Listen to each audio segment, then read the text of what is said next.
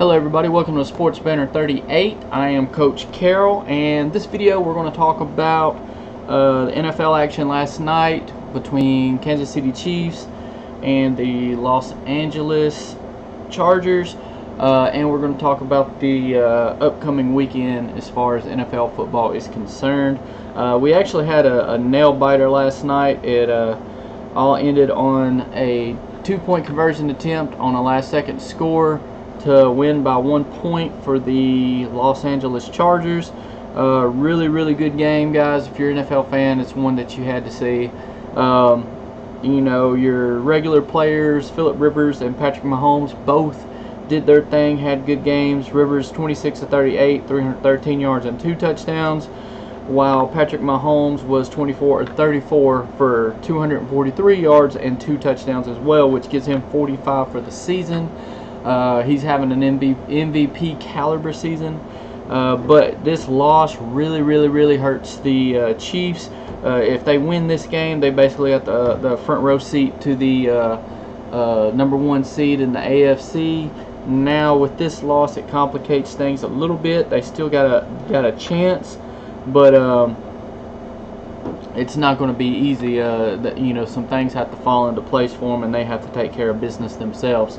Um, but you know, all in all, like I said, it was a really good game.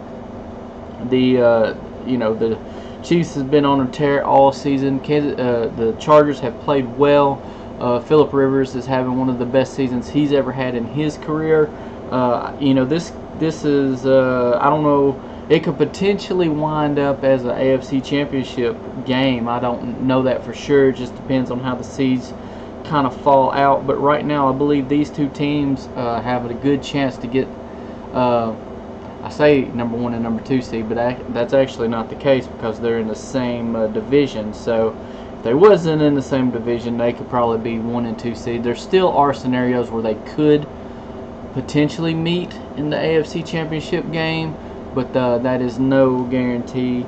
Um, anyway, we got Saturday games this week. Uh, the two Saturday games is uh, uh, Houston Texans on the road against the Jets. Uh, another big game with playoff implications. You know, as long as Houston is able to win uh, this week and next week, they will win their division. So, uh, big game for Houston. Then you go to Cleveland, going to Denver. Um, you know, Baker Mayfield, you know, he's actually come on really well here the last few weeks. So uh, this will be a, a, good test for him on the road. Uh, you know, that's a lot, a lot of interest there for a Saturday game. Uh, moving on to the um, Sunday games, you got Green Bay at Chicago. Green Bay still holding par as far as uh, the leader in the NFC North. They're looking really, really good defensively. Uh, Trubisky has played well uh, if he's back from injury, you know, and all those sort of things are the, questions you have on the Bears, but their defense has been able to hold them together.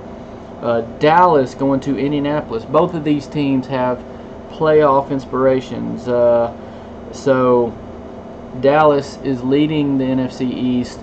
They they fell behind and they've actually been on a, a surge here lately. Indianapolis is right in the mix for that wild card game if they win out, they probably control their destiny. Uh, just depends on some of the head-to-head matchups, but I believe 10 and 6 is going to get you in. And between them and the Tennessee Titans, um, whoever wins that final game will probably be in. Whoever lo loses will probably be out. Uh, moving on, of course, we talked about Tennessee. They're going on the road against the Giants. Uh, Giants had a huge game last week. Saquon Barkley has been wonderful all season long. Uh, their problem is consistency. So, uh, will they be able to put together two back-to-back games? And, and you know, some could argue the same about Tennessee as well. They both are coming off really good performances. So, uh, there's a lot to see in that game. It should be a good game. Uh, the Giants at five and eight pretty much are are playoffs are not in the, in the question, but Tennessee has more to play for. So uh, if they can win this week and next week, it'll set up a big game for them and Indianapolis in the final week of the season. Uh, moving on, you got Tampa Bay going to Baltimore. That's another game with playoff implications. Um, Tampa Bay is not been very consistent this year. Baltimore been a little more consistent. Uh, they got Lamar Jackson at quarterback. I don't believe that's a, a, a formula to win in the playoffs, but if you got to at least get there first. So Baltimore will be ready for that game. Seattle at eight and five going to San Francisco. Seattle has come on pretty good here lately. Uh, they need to keep, you know, they want to keep their uh, playoff positioning in the positive, so they're going to really be looking forward to that, winning that game, really bringing their best effort with uh, Russell Wilson. Uh, we got New England at nine and four going to seven and five. Pittsburgh with the tie and everything on Pittsburgh's record, the seven five and one. They really need to get this game. Uh, they need to win this one. Um, and I believe if they win and Tennessee loses, they clinch a clinch a playoff spot. Not exactly sure how that works. This is this is crazy, but you know that's how it goes. And you got Philadelphia going to the Rams. Rams 11 and two. Um, Rams should win this game, I believe. Uh, but in the NFL, it truly is every any given Sunday. Anybody can beat anybody. So.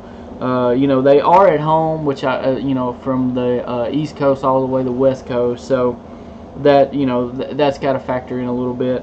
Uh, New Orleans at 11 and 2, going to Carolina at 6 and 7. Carolina is a good 6 and 7 team. They may be the best 6 and 7 team. Uh, New Orleans could uh, be. They they probably are on uh, upset alert for this one because Carolina plays really really good ball at home, and you got Cam Newton. You got a physical team. So, uh, you know, this should be uh, an interesting game. Anyway, that's all I got for this video, guys. Please uh, uh like, share, uh, hit the subscribe button, and comment. Let me know what you think about some of the upcoming games. Uh, you know, how do you see the playoff scenarios playing out and all that good stuff. anyway, guys, thanks again for watching. this is Sports Banter 38. I am Coach Carroll, and we are out.